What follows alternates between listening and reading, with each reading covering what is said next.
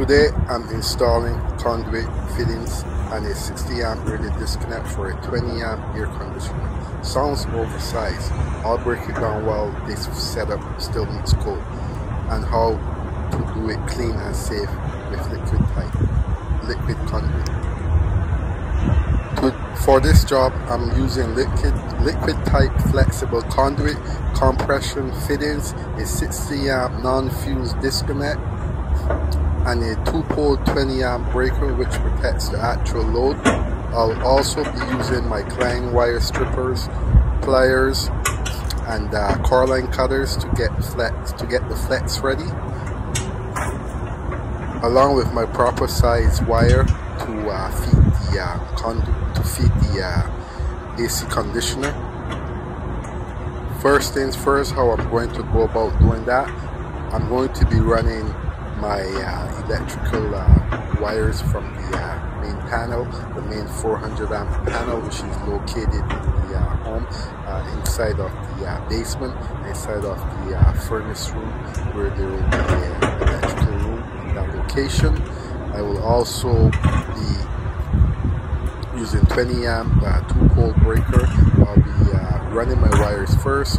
Then what I'm going to be doing is I will be installing my liquid type conduit uh, secondly. Once that is done I'm going to place my disconnect onto the uh, conduit itself using my compression connector uh, which is approved for outdoor uh, weatherproof I, I will also be using my compression compression connectors to ensure a weather-tight seal that's key for outdoor or damp location. Notice after you will see I, am going to have straight 90s and secure strapping. I always maintain support spacing per coat so at the disconnect right now, I'm going to be landing my wires, line side coming from the breaker, load side going out to the AC unit.